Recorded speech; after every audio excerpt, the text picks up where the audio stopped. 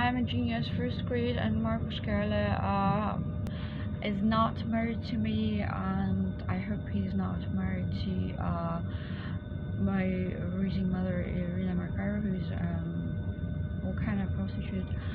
Um, Marcus was sleeping with prostitutes a lot of times during our marriage and after the divorce.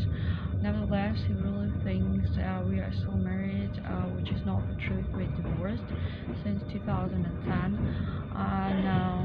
Marcus was doing everything to uh, steal my money because uh, he was not supporting me financially um, in any manner. And uh, he was doing everything to prepare this divorce and he was having the wish uh, to divorce me uh, already before this marriage uh, taking place. So uh, Marcus was prepared to divorce uh, from the very beginning of our marriage.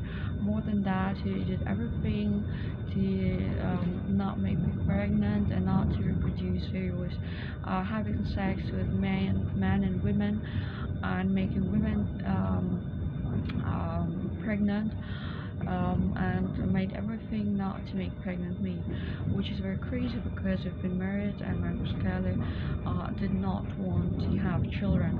So he broke uh, the marriage, he broke my heart obviously because he was this cruel husband and crazy husband who is marrying a woman um, just for having uh, help in, a, in his household and is not even interested to make this woman pregnant, meaning that Marcus Kerle was uh, married to me and uh, actually really destroyed my entire life. So I'd like Marcus Kerle to pay a penalty in amount of 800 billion euro a month and uh, I'd like him to be imprisoned and never be able to touch a computer and never be working for any Süddeutsche Verlag and never uh, be a politician and never uh, be a web developer ever.